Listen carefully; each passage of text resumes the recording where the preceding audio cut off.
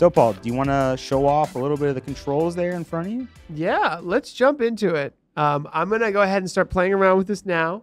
And again, our engineers are here to listen to your suggestions. So if you, if you have ideas throughout this, throw them at us. We want to make this better. It's in beta, technically, but you can access it today.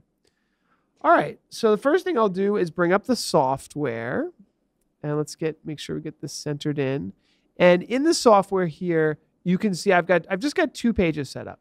So page one, we've got our home, our up, down, left, right, pan, tilt, zoom. Now this is the dial version, so the Stream Deck Plus. Yep. So you'll see in the upper right hand corner there, there's options for keys and then there's options for dials. Ah, yes. Those are the two options for what you can add from our plugin. And you'll see on the right side the PTZ Optics logo with a P there. That is our plugin. That's all the features of the camera as he's showing. And then there's the dial option as well. So you could only use you can only drag these onto the dials. Yep.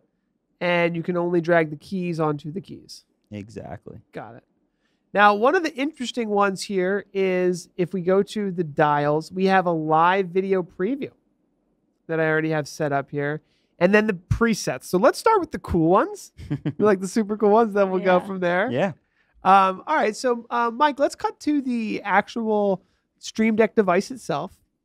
And I wish I had a teeny bit better view here, but you can see here I've got the live video preview there, and then I've got the presets over here.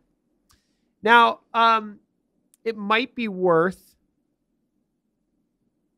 showing the actual camera. Uh, yeah, there we go.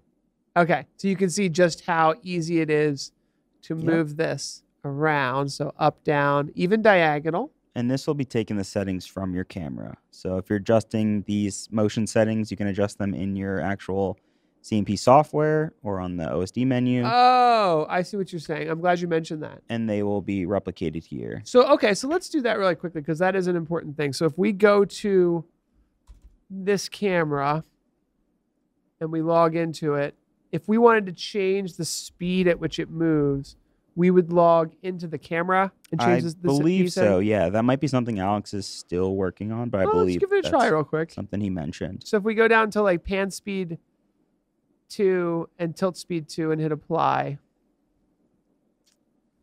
You can also control the pan, tilt, and zoom from the dials as well. oh, see, uh, actually, it kind of feels like the same.